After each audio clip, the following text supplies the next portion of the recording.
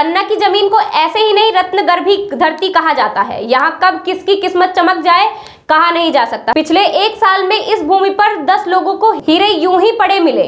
यानी पहले लोग ज़मीन किराए पर लेकर खदान खोदते थे, तब कहीं जाकर उन्हें हीरा मिल पाता था। लेकिन अब लोगों को ऐसे ही ज़मीन पर हीरे मिल जाते हैं। कुछ इसी प्रकार पन्ना नगर के सीमिपी गाँव के निवासी इंद्रजीत सरकार के साथ हुआ है। इंद्रजीत को खदान के मिट्टी के पुराने ढेर से चार दशमलव तीन आठ कैरेट का बेस कीमती हीरा मिला है, जिसकी अनुमानित कीमत लगभग सत्रह लाख से ज़्यादा बताई जा रही है, जिसे युवक ने हीरा कार्यालय में जमा करवा दिया है। इस हीरे को आगामी हीरा निलामी में रखा जाएगा। हीरा कार्यालय से मिली जानकारी के अनुसार पन्ना नगर नजदीकी गाँव जरुआपुर निवासी इंद्रजीत पिता रविंद्रनाथ सरकार को पुरानी खदान की मिट्टी के ढेर में राह चलते चलते एक चमकता हुआ पत्थर दिखाई दिया, जिसे देख युवक ने उठा लिया। जब युवक घर लेकर पहुँचा और अपने पिता को दिखाया तो पिता ने बताया कि यह हीरा है। पिता की बात सुनकर बेटा हैरान रह गया।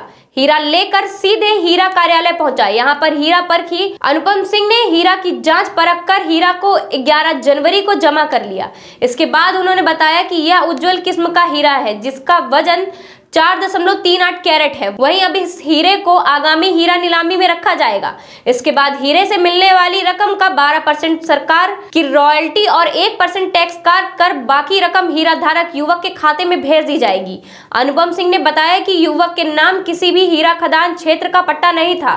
वर्ष 2023 में 10 लोगों की बगैर खदान लगाए और बिना मेहनत के हीरे मिले हैं। यह पन्ना के इतिहास में पहली बार हुआ है। जब रास्ते में चलते चलते इतने लोग को हीरे मिले हों। इनमें से समीर सिंह को एक दशमलव चार एक कैरेट, गेदाबाई को चार दशमलव नौ तीन कैरेट, नंदलाल को दो दशमलव आठ तीन कैरेट, छेदलाल को ज़ीरो दशमलव आठ पाँच कैरेट, निरुपाल को एक दशमलव तीन ज़ीरो कैरेट, पन्नालाल कुशवाहा को दो दशमलव ज़ीरो ज़ीरो कैरेट, भवानी दीन रैकवार को दो दशमलव आठ पाँच कैरेट राज किशोर सिंगरौल को एक दशमलव तीन छह कैरेट वृंदावन रैकवार को चार दशमलव आठ छह कैरेट का हीरा मिला है।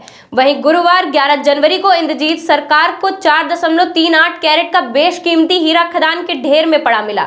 लेकिन अब सवाल यह खड़ा हो रहा है कि जब खदान में लोग दिन रात कड़ी मेहनत कर पसीना बहाकर हीरे की तलाश करते हैं, बावजूद उसके उनकी कीमत में हीरा नहीं मिल पाता। वहीं दूसरी ओर एक साल में दस हीरे बगैर खदान खोदे लोगों को मिल गए हैं। सरकार को पड़ा हुआ है प्राप्त हुआ है। इसका वज़न चार कैरेट अड़तीस सेंट है और जो बताया गया है। और इसको कल की डेट में जमा कर लिया गया है और आने वाली नीलामी में इसको रखा जाएगा।